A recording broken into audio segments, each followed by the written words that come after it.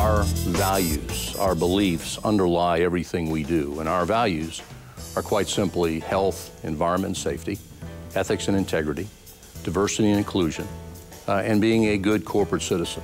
And we believe that uh, being a good corporate citizen is key because we, we have to earn the right to do business in all the communities and all the areas that, that we operate. And what that really means is supporting that community, uh, being a, a good partner, uh, providing not just financial resources, but people resources. And I'm very proud of Marathon people uh, all around the world because uh, they give of their own time and their own resources uh, to be part of the communities because frankly, we live and work there as well and our families are in those communities and we want to make a difference.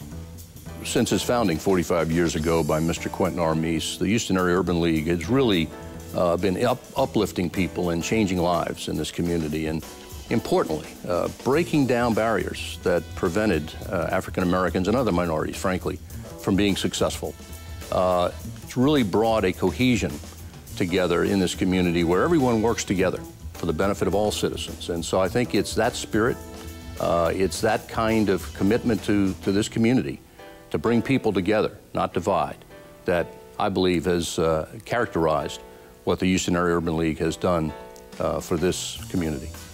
I think some of the great things that the Houston Area Urban League are, are doing is really around uh, education and workforce development. If you think about uh, the education and youth initiatives, uh, the workforce training, uh, the workforce development areas. Uh, it really is about preparing our young people uh, as well as some of our grown-ups to compete for the new jobs that are out there today and will be out there in the future. And I applaud the Houston Urban League for its uh, education and workforce initiatives. They are critically, critically important uh, to our community and the nation as a whole. On behalf of 3,000 Marathon Oil Corporation employees, I proudly accept the Quentin Mease Community Service Award.